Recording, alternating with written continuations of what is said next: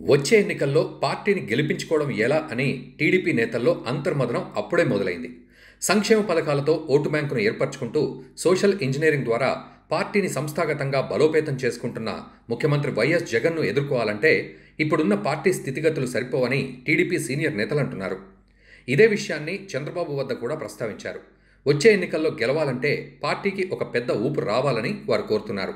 అందులో భాగంగానే ఇప్పటికే పవన్ కళ్యాణ్తో చంద్రబాబు చర్చలు జరిపారని తెలిసింది. ఎన్నికల సమయం నాటికి పవన్ కళ్యాణ్ టీడీపీతో జత కట్టవచ్చునని టీడీపీ నేతలు అనుకుంటున్నారు. ఇదొక్కటే సరిపోదని జూనియర్ ఎన్టీఆర్ను కూడా రంగంలోకి దింపాలని పార్టీ సీనియర్ నేతలు చంద్రబాబు దృష్టికి తీసుకెళ్ళారు. ఇప్పటికే పార్టీ కోసం ఎంతో డబ్బు ఖర్చు పెట్టి పనిచేశామని ఈసారి అధికారంలోకి రాకపోతే కష్టమేనని ఈ సీనియర్ల బృందమంతా చంద్రబాబు ముందు ఎకరువు పెట్టారు. దీంతో చంద్రబాబు జూనియర్ ఎన్టీఆర్కు ఫోన్ చేసి మాట్లాడారని తెలిసింది. జూనియర్ ఎన్టీఆర్ పాజిటివ్గానే స్పందించినప్పటికీ కీలకమైన మార్పులను సూచించినట్లు తెలిసింది. పార్టీపై లోకేష్ పెత్తనం ఎక్కువైపోతుందని ఇది చాలామంది నేతలకు నచ్చడం లేదని లోకేష్ను నియంత్రించాలని ఎన్టీఆర్ సలహా ఇచ్చినట్లు సమాచారం. బాలకృష్ణ కూడా పార్టీపై పట్టు కోసం ప్రయత్నిస్తున్నారని ఇప్పటి నుండే ఫలానా నియోజకవర్గంలో ఫలానా తన మనిషికి టికెట్ వస్తుందని చెప్పుకుంటున్నారని అది కూడా మంచిది కాదని ఎన్టీఆర్ సూచించినట్లు సమాచారం.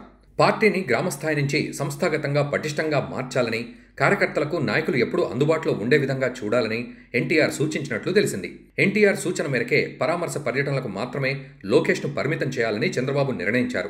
దీనిపై లోకేష్ అలిగినట్లు కూడా సమాచారం. జూనియర్ ఎన్టీఆర్ మాటలు విని తనను పక్కకు పెట్టడం ఏంటని లోకేష్ సన్నిహితుల దగ్గర వాపోయారట.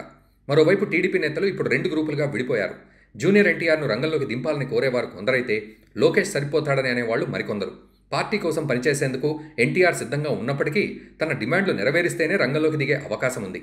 కొద్దికాలం గడిస్తేనే ఎన్టీఆర్ రాజకీయ పునఃప్రవేశంపై స్పష్టత వచ్చే అవకాశం ఉంది.